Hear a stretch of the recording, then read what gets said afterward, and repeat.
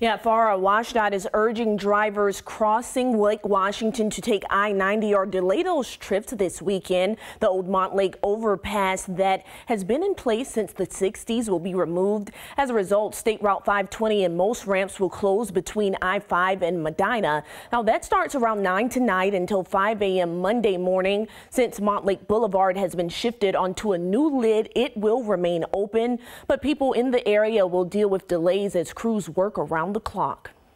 Four pieces of machinery that will crunch it from the top and bottom um, to get it down. It's not going to be uh, blown up with dynamite or anything dramatic like that.